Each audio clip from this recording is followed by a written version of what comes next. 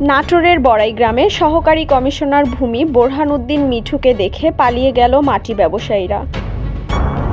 সোমবার বিকেলে উপজেলার চান্দাই ইউনিয়নের দিয়ারগারফা গ্রামের একটি তিন ফসলি জমি থেকে মাটি কাটার সময় সহকারী কমিশনার আসার খবর পেয়ে পালিয়ে যায় মাটি ব্যবসায়ীরা। স্থানীয় সূত্রে জানা যায়, দিয়ারগারফা এলাকার মৃত ইজ্জত আলী বিশ্বাসের ছেলে ওমর আলীর জমিতে ওয়াদুদ ও আলিম নামের দুজন মাটি ব্যবসায়ী পুকুর খনন করে মাটি বিক্রি করছিলেন।